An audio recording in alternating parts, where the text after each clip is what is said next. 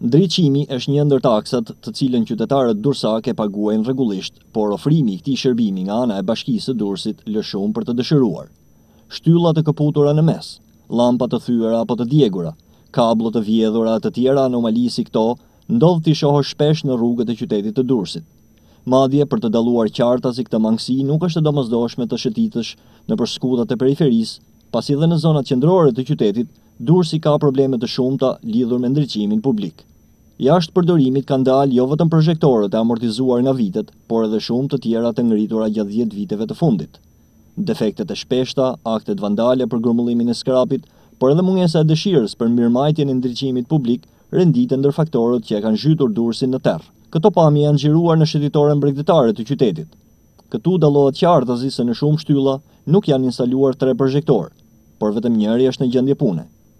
Mjafton të lëvizësh vetëm pak metra më tutje tek torra veneciane e qytetit, gjysma e së cilës është e ndriçuar, ndërsa pjesa tjetër e zhytur në errësirë. Kjo ndodh pasi disa prej ndriçuesve publikë në anën perëndimore të torrës nuk funksionojnë prej muajsh, duke e lënë në terr këtë aset të madh të historisë dhe kulturës së Durrësit.